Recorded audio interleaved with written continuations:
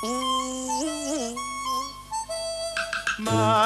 name's James, James the cat. I've had fame, money, and all that. Now I'm here, growing fat, chasing birds and butterflies. James the cat.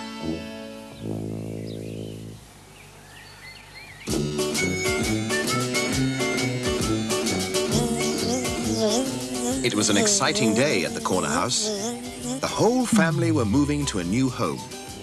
Everything was packed up and driven away. Everything except James the cat. I've been forgotten. Locked out of my own home, with all my worldly goods stuck inside. I'll have to live outside, in that jungle. But wait. My Auntie Maud lives in a castle in Wales. I'll write to her. She'll help me. Dear Auntie Maud, uh, please help. Love from your lonely nephew, James. How shall I send it? Of course, airmail. Supposing she never gets it. I'm just a forgotten second-hand cat. Not a friend in the world. Hey, Mr. Don't cry. I'll help you. Beg pardon? I'm Rocky the Rabbit.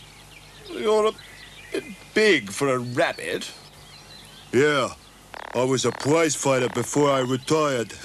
oh, and this is my friend, Mrs. Lavender. Oh, hello, said Mrs. Lavender. It'll be nice to have a cat in the garden.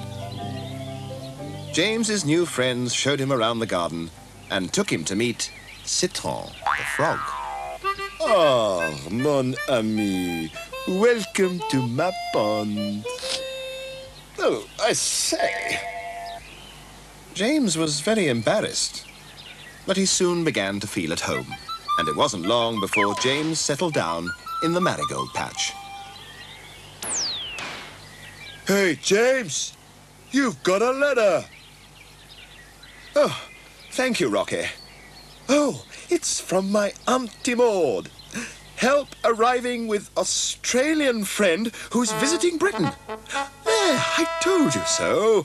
I shall be whisked off to my auntie's castle to live like a king. Yoo-hoo! I'm Frida, your Auntie Maud's friend, and I've got something special for you. Oh, not a cat. I'm a kangaroo, silly. Now, where did I put your parcel? Ah, here it is. What is that? My name is Dennis, and I'm a real dragon. I don't want a dragon. I'll be very useful, and I am your present. But how can you help me? You're locked out of your home, so why can't this rabbit bash down the back door? Hey, hey, hey! And Frida here can bring out all your belongings. Oh, Ripper, James. Now I can live in the house and the garden. My best idea today. Whose idea? Sorry, Dennis. I have decided to stay on at the corner house to look after you all. Night and day you can come to me with your problems and I ah, do Just listen to him, the bossy old windbag. So, James settled down in the garden with his new friends.